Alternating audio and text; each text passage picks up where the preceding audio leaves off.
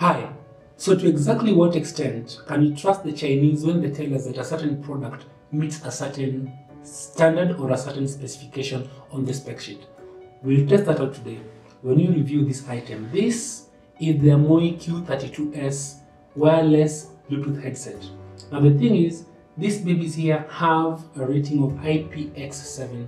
IPX7 means that if you took out these two buds and dip them in water, not just any depth, but at least one up to 1.5 meters for up to 30 minutes, these boys are going to be just fine.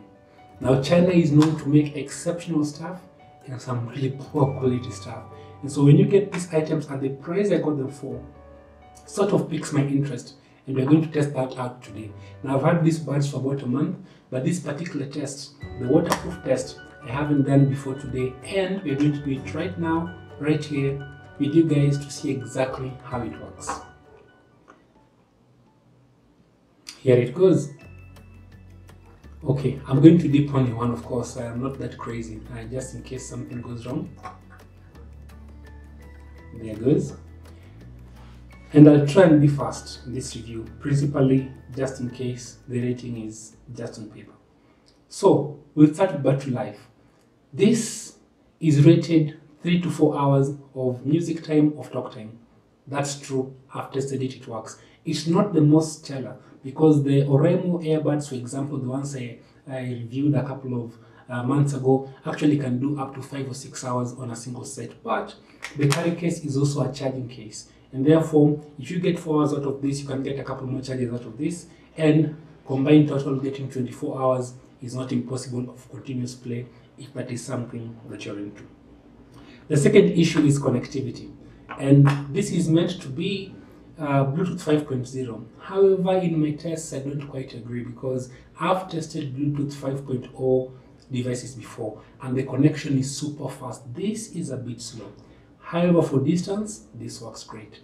Must tell you, I can have my phone charging upstairs and I be downstairs with the buds in my ears and it sounds quite good. Of course, if you take a couple of corners, you lose connection, but just that possibility alone, this is the first set of devices where that has been possible. How about sound quality? Now, I have tested numerous devices before, including the Remos, which I lost unfortunately, but also the Amoi F9. I think this is the predecessor to what we're reviewing today. And the Amoi F9, um, well, not waterproof, a little bit bigger than what I have here if you just compare the sizes, and Bluetooth 4.2, that is what it says, and of course much cheaper. Now, I thought this sound quality was good, and I found this to be very light, but having used this, I can comfortably set that aside and say this quality is better. And mark you, the quality from the first F9s was actually better than the Remo, which I thought was also very, very good. So where it stands now, this is the best sound quality I've seen. The bass is great, the clarity is exceptional. Phone functionality. These can answer phone calls as well, and the sound is very clear. Unfortunately, only one side works for phone connection. That's the right side. The left side you can only use for music. And so um, that's a downside if that matters to you. However, the voice is very crisp. The person on the other end of the line can also hear you and they're very, you know, it's quite, quite okay. Noise cancellation. Now, these buds don't have active noise cancellation, but what they do have is a perfect fit right in the ear, and we can test that right now. See that? Very snug. Now, if you put this on one ear and the other one on the other ear, I've tested this. My small daughter is quite persistent. I couldn't hear her. It's actually quite dangerous. You don't want to cycle with this because you won't hear a thing. So they do have noise cancellation. It's just that it is not active uh, noise cancellation. Um, what else? The carry case. I've come to appreciate the concept of form factor when it comes to cases. That's a really, really big deal now whenever I choose these cases going forward, this product going forward. Why? Um, let's take this for example. You can see how fat it is here, how thick it is there, and how thick it is there. So it's thick all around. Put this in your pocket, and two things are going to happen. One, it's going, you're going to feel it all through. It's very heavy, sometimes uncomfortable, and if you're wearing, for example, a little bit um, of fashionable clothes, then this might not be what you want to pop out of your pocket at that time.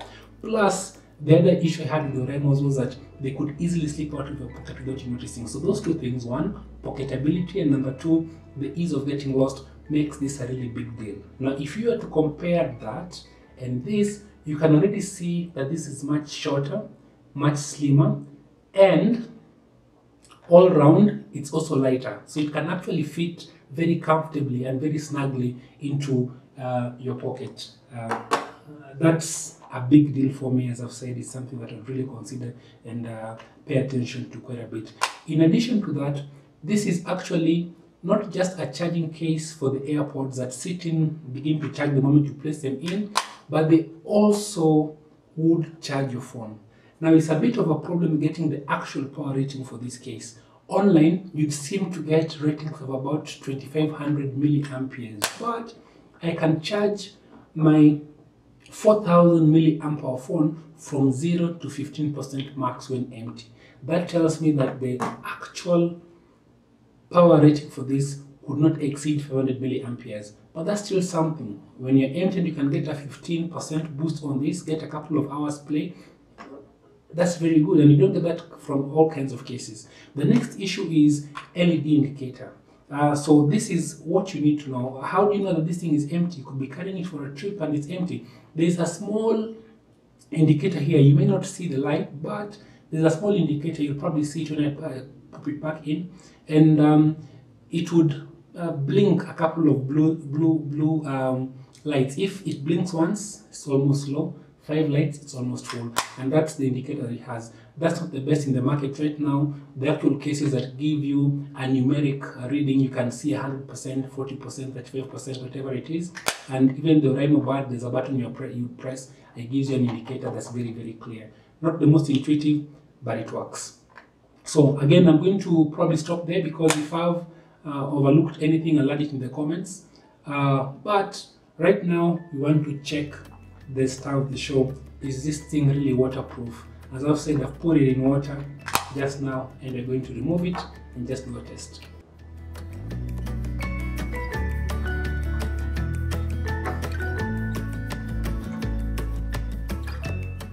Okay, so it's not blinking anymore. That doesn't look good.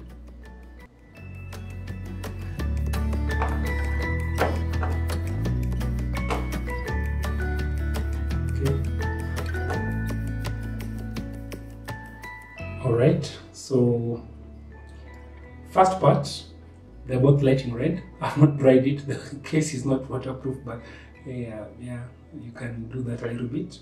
So that's the first part. All right so i'm gonna take them out.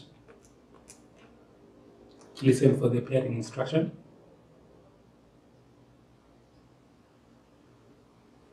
Okay at least uh, seems to be pairing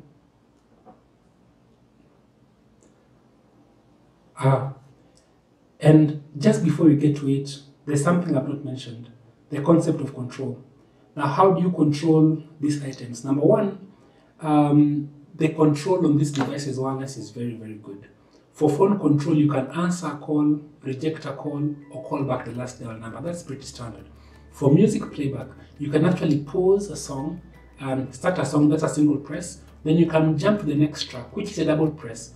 And you can also jump to the previous track, which is a triple press. Now that's something that was missing on the Oraimo earbuds that I had, and it's a really, really good functionality. What you don't have, however, is volume adjustment. I think that's useful, but you don't have it now. For the price point for this, that's a, not a big deal. So here we are.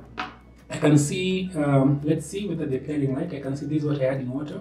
I'm going to turn on my Bluetooth right now. Um, there you go. And then see if it's going to connect.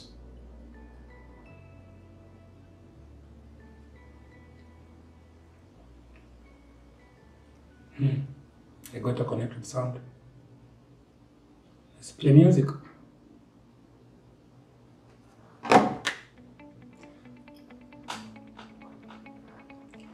If my dance can't tell you, this is a thing, they work perfectly. Believe it or not, these things are actually waterproof. And here's the best part. You know, I reviewed the principally because the cost was a big deal compared to the Apple AirPods. The AirPods cost about $200 in my region, and the Reynolds cost about $37 and I didn't see the need to splash up the cash that's different from $37. The thing is, these things that you've just proven to be waterproof are actually $18. That's right. The cost of these devices is $18. I got them off Jumia. I'm going to leave the link in the description and I'm just amazed that they actually are what they say.